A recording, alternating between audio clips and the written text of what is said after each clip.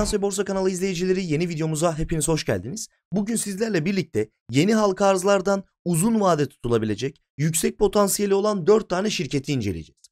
Buradaki önemli kriterlerimiz başta da söylediğimiz gibi potansiyelinin yüksek olması, uygun çarpanlara sahip olması çok önemli kriterlerimizden bir tanesi. Karlı olması ve geleceğe dönük olması dörtlüsünü yakalayabildiği zaman bunlara yeni halka arzlar içerisindeki uzun vade tutacaklarımız listesi içerisine ekleyebiliyoruz.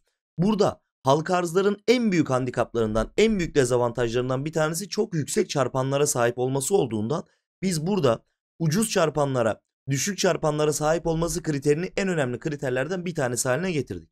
Çünkü 50, 60, 70 FK, FD, FAVÖK'lerdeki 15, 20, 25, 30 piyasa değeri defter değerindeki şirketleri aldığımız zaman bu şirketler özellikle de borsanın hafif yatay yaptığı bu dönemlerde çok uzun süreler kendi oluşturdukları eder değerlerini koruyabilmek için yatay yapmaya, yatay aşağı serüven içerisinde bulunmaya gidiyorlar. Belki tekrar yeni potansiyeller, yeni atakları birkaç sene sonra yapabiliyorlar. O yüzden bizim yeni halka arzlar içerisinde bir kere yüksek potansiyelli olmasını bulmamız gerekiyor. Geleceğe dönük olmasını bulmamız gerekiyor. Karlı olmasını bulmamız gerekiyor. Ama bunun yanında şu anki fiyatlarına göre uygun olmasını da bulmamız gerekiyor ki hızlıca harekete geçebilsin, hızlıca yükselebilsin. Zaten bu gördüğümüz şirketlerin Yeni halka arzların birçoğu bebek şirket kategorisinde oluyor. Bugünkü bu 4 şirketimizin de 3'ünün bebek şirket kategorisinde olduğunu ifade edebiliriz. İşlerinden sadece bir tanesi büyük bir şirket. Yeni halka arz olmuş ama büyük, kuvvetli bir şirket olduğunu göreceğiz. Diğer 3 tanesi evet düşük hacimli, düşük piyasa değerli, düşük ödenmiş sermayeli, dördü de düşük fiili dolaşım oranına sahip. Daha bebek şirket kategorisindeler. Özellikle bu mail tarafından çokça gelen bir soru olduğu için bugün bu videoyu da çekiyoruz. Çünkü şu konuda hak veriyorum bir şirket 10 senedir, 15 senedir, 20 senedir borsadaysa artık o şirket biraz daha oturmuş oluyor. Yapabilecekleri oturmuş oluyor, yatırımları oturmuş oluyor, büyüme ivmeleri oturmuş oluyor. Sahip olan, satın alan yatırımcı kitlesinin mantalitesi dahi oturmuş oluyor. Bu yüzden yeni halka arz olan şirketlerdeki potansiyeller daha büyük oluyor tabii ki. Bugün de bu yüzden bunların içerisinden güzel olan 4 tanesini incelemeye çalışacağız. Videoya geçmeden önce kanala abone olmayı, beğeni butonuna basmayı, yorum atmayı ve bugün katıl tarafına yüklenecek fonlarla ilgili videoyu unutmamak için de kaçırmamak için de katıl tarafına kayıt olmayı unutmayın diyorum. Hemen videomuza başlayalım. Şimdi her zaman videoya başladığımız gibi endekste genel bir düşüş eğilimi içerisinde olduğumuzu, bu şirketler halka arz şirketleri olsa hızlı potansiyelleri olacağını bilsek dahi endeksin düzeltme yaptığı seviyelerden alım yapmak ve kademe kademe alım yapmak, bütün paramızı topyekün bu hisselerin içerisine gömmemek çok sağlıklı olacaktır diyebilirim. Bu girişteki uyarı kısımlarını söyledikten sonra ilk şirketimiz olan Bor SK kısa koduyla Bor Şeker hissesine bir bakalım. Şimdi Bor Şeker hissesi 29 liralardan halka arz oluyor. Sonrasında yukarıda 55 liralara kadar bir çıkış sağlıyor. Sonrasında iyi bir düzeltmeyle birlikte bugün 35 liralardan 36 liralardan değerlendiğini görebiliyoruz. Çok iyi bir destek noktası en dip seviyeleri falan bulmak istersek burada artık 33 liraların falan yeni dip seviyeleri olduğunu görebiliriz. Ama bu anda bulunduğu seviyelerde alım için uygundur diyebiliriz olabildiğince gıda şirketlerini tutmak bizim için faydalı olacaktır. Fed'in faizi tam indirdiği ve indiği en dip seviyelerde kaldığı dönemlerde enerji fiyatlarının yukarı gideceği gibi gıda fiyatlarının da yukarı gideceğini biliyoruz. Bor şeker de çok önemli bir şeker üreticilerindendir. Bu yüzden bu tarz gıda şirketlerini özellikle emtianın direkt kendisini üreten, imal eden şirketlerin hisselerini elimizde bulundurmamız ne olacak? Sağlıklı olacaktır bizler için. Fed'in faiz indirdiği dönemdeki emtia fiyatı artışına bir hazırlık oluşturmuş olacağız. Bu bağlamda Bor Şeker karşımıza ilk şirketimiz olarak çıkıyor. Tabii ki bilanço yapısına da bakacağız. Çok eski bilançolar, ahım şahım bilançolar göremiyoruz. 2023'ün 4. çeyrek bilançosunun da geldiğini göremiyoruz. O yüzden burada inanılmaz bir bilanço inceleyemeyeceğiz. Fakat gelir tablosunun içerisine gittiğimizde şirketimizin 2022 yılının tamamında 1.6 milyarlık bir ciro ürettiğini görüyoruz. Şirketimiz 2023'ün 9 ayında 2.2 milyar ciro üretiyor. 768 milyonluk buradaki brüt karını 4 çeyrekte 768 milyon yazarken 3 çeyrekte 850 milyon yazdığını görüyoruz. Muhtemelen 1 milyarın üzerine geçecektir. Bu da şirketimizdeki büyüme yapısının gayet iyi olduğunu bizlere gösteriyor.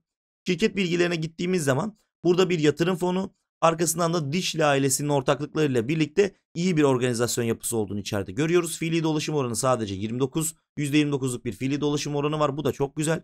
8 milyarlık piyasa değeri 240 milyonluk bir ödenmiş sermayesi var. Bu bağlamda baktığımızda gayet güzel olduğunu görüyoruz. Peki marjları ne durumda? %30'luk bir net kar marjı, %36'lık bir fabrik marjı ve %40'lık bir brüt kar marjı görüyoruz ki bu gidişatın çok süper olduğunu bizlere gösteriyor. Cari oranı 1.70'lerde kabul edilebilir güzel oranlar. Kaldıraç oranı %53 ile çok iyi oranlarda. Öz kaynak karlılığı %100'ün üzerinde yine bizim için işlerin gayet güzel olduğunu görebiliyoruz.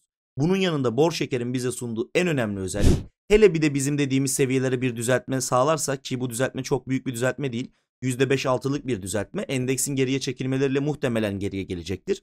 9 FK'dan 9 FD Favök'ten 5 piyasa değeri defter değerinden alım yapabilmek imkanını bizlere sunuyor ki bu oldukça önemli bir nokta diyebilirim. Ucuz, potansiyeli var, geleceğe dönüklüğü var, karlı büyümesi var. Bu halka arzdan daha fazla bir şey istenemez. Bu şirket geleceğin kuvvetli halka arzlarından bir tanesidir diyebiliriz. Burada ikinci şirketimize baktığımızda Koton'u görüyoruz. Koton zaten daha yeni halka arz aşamasında olan bir şirket. Fakat baktığımızda değerlerine baktığımızda özellikle uygun çarpanları yine bize sunuyor. Bugün baktığımızda 13.5 bir FK oranı, 7.4'lük firma değeri fabrik oranı ve piyasa değeri defter değerinde de 6.01'leri görüyoruz. Çok güzel. Yine sağ tarafına geldiğimizde burada bir piyasa değeri ödenmiş sermaye çıkıyor ama henüz daha fiili dolaşım oranını bile FinTables ekranlarına yansıtamamış. Burada biraz gecikmeler söz konusu. Fakat kap raporları içerisinden baktığımızda ben Koton'la ilgili şunu söyleyebilirim ikinci şirket olarak. Potansiyeli yüksek, uygun, geleceğe dönüklülüğü var, iyi bir tekstil şirketi ve özellikle Migros'un son dönemlerde yaptığı gibi daha tabaka olarak kendini daha geniş bir kitleye yaymaya çalıştı. Mesela bir Vakko'ya baktığımız zaman çok üst segment insanlara, çok büyük insanlara, çok daha gelir durumu yüksek olan insanlara satış yaptığını görüyorduk. Bir dönem Carrefour, Migros, Makro Center'lar da bu seviyedeyken Migros bugün kendini biraz daha alt sınıfa yaklaştırmaya çalıştı. Yani orta ve altın tamamını alıp oradaki potansiyel müşteri hacmini genişletti. Koton da bu noktada iyi bir avantaj sağlayan şirket diyebiliriz. Fakat karlılık noktasında hafif tabii ki sorumlulukları var. Çünkü geçmişten günümüze gelen yani 2022-12 ile 2023-12 kıyasladığımızda çok yüksek bir satış artışı olmadığını görüyoruz. Ha burada şunu söyleyebilirim. Borsamızda bugün açıklanan bilançosu gelen şirketlerin %85 %90'ı da 2022 12 aylıkta 2023 12 aylığın altında kaldığını görüyoruz. Yani bu serüven aslında çok da kötü bir serüven değil. Çünkü bunun neden olduğunu biliyorduk. İşte bu şirketlerin birçoğu ihracatçı şirketler ve döviz kuru ihracatçı şirketlerin rahatlayacağı seviyelerde değil. İçeride maliyetler arttı. Asgari ücretle işçi maliyetleri arttı. Emtia ürünlerinin girdi maliyetleri arttı. Enerji maliyetleri arttı. Ve döviz artmayınca ve aynı zamanda yüksek faizle birlikte alımdaki talebin kesilmesiyle birlikte şirketlerin 2023 12 aylık karlılıkları 2022 12 aylık karlılıkların altında seyrediyor. O yüzden burada Koton tabii ki daha iyi bilanço getirebilirdi ama getirdiği bilançonun da kötü olmadığını ifade edebiliyoruz. Üçüncü şirketimize geçtiğimizde burada Astor'u göreceğiz. Astor işte bu dörtlünün içerisinde hacmi küçük olmayan, sermayesi küçük olmayan tek şirkettir. Şimdi Astor'a baktığımızda biz epey süredir Astor'u incelediğimizi biliyoruz. İşte daha önce Ocak aylarında da yine enerji şirketlerinin ucuz kaldığını söylemiştik. Burada 90 liralar maliyetlenebiliyorduk. Ki tepede 130 liralara kadar gitti.